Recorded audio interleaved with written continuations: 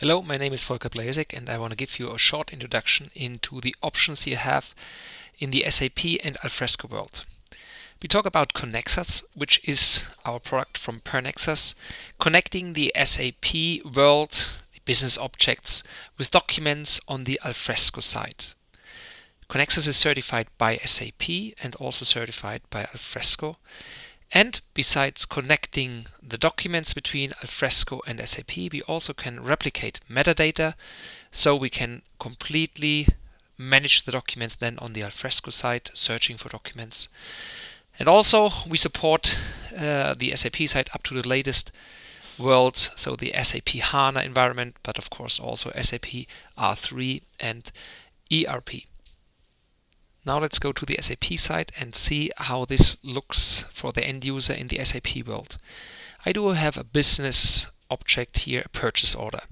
For the purchase order or for other business objects, we have the so-called services for object available.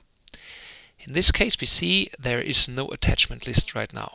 That's why I create and store a new business document. In this case here, we choose the purchase order to Alfresco and you see simply by drag and drop I can move the document to the SAP GUI and in the background the document is already stored to the Alfresco site. We have the chance to type in some additional description so we have a, uh, this kind of information and that's it. We have seen there are only two clicks to select the document type and finally store the document here from my front end. Now we have seen how to create the document and now let's see the attachment list. Now we have a document attached. You see here, this is the document that I attached right now. We can have here some detailed information for this document, which we can also see later on on the Alfresco side because we can replicate information. But for the end user, it might be interesting simply to display the document. And again, you see we are completely on the SAP side. So the SAP document viewer pops up. The document is here. And we even have here some options like uh, editing the notes. And you see that we can store these notes easily in again inside the SAP GUI. If I check again the note, we see that we have here timestamp and we could even change the note with some additional information. So that's it on the SAP side.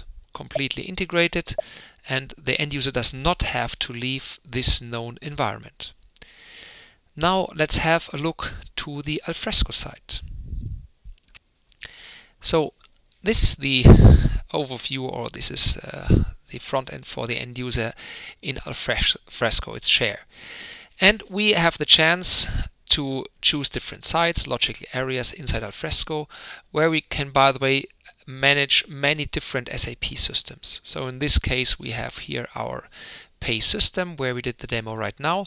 And in this system, I check the document library, besides all the other functionality that you have available on the Alfresco site.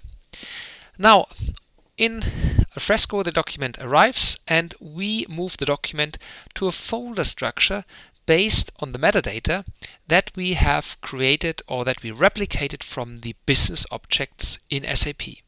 So here in this um, example we choose the location 1, it's a set T archive and um, you know that we were talking about a purchase order right now. Let's check here the folder for the purchase orders.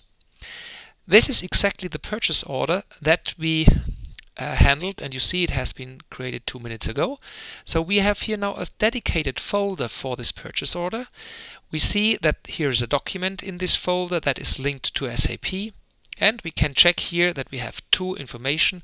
One is the note and one is the actual PDF document.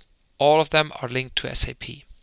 If we check the PDF for example, then we get a preview of the document and we have here many actions available but more important for me now is that we also have this metadata replicated. So this is standard uh, SAP ArchiveLink information only you can't use but we see here all information that we typed in then of course our purchase order also the deletion date um, so you replicate also this information. So all is available on the Alfresco site So besides the metadata that we have replicated, we have also actions available. For example, here, if we are not happy with the metadata, we can also open directly the document on the SAP site. You see, I log in to the SAP world and here is my purchase order and I can get even more information on a line item level.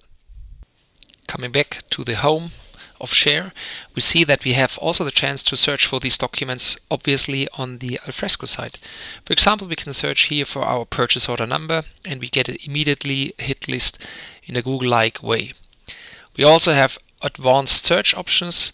So you have many different ways of searching for this uh, content inside Alfresco. We take here the SAP related uh, search area.